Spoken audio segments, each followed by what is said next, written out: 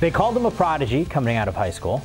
True freshman earns the start. He's now the Rosen one. Welcome inside our Pac 12 Network studios. It's Inside Pac 12 Football, the digital edition couple USC guys talking about a UCLA kid, Curtis Conway, Matt Leinart, Mike Yam with you, specifically with Josh Rosen. He was as impressive as any quarterback that we saw in the country in week number one. What's the next phase in week number two for him? Well, first of all, just one game. You know, I've already anointed him too. He's a great football player, but he's going on the road this week, so he's gonna he's gonna experience some different adversity. Uh, you know, he's gonna go on a plane ride. He's gonna go on the buses. To the everything is different when you go on a road game, especially in your first road start. Now, I expect UCLA to handle UNLV as we all do probably, but there's probably going to be some adversity in this game, and that's the thing I want to see from him is how does he handle that? That first week against Virginia, everything went his way, and, and he was prepared, and kudos to him, but there's going to be times throughout this season, and it may happen this weekend, that he's going to get sacked, he's going to throw a pick, he's going to fumble. How does he handle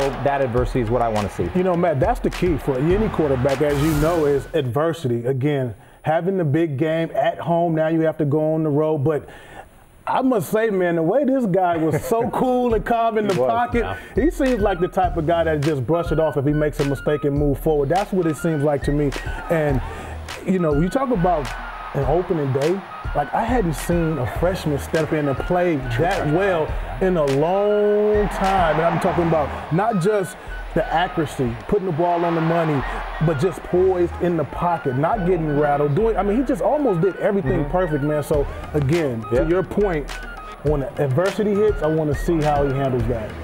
Might not be for a while. It might not. May not. the other thing. he is a beast. You had you said it before earlier when we were talking about this in our meeting. It's going to come. There's it's, it's a guarantee. On the road and conference play is going to happen. it's going to happen sooner than later.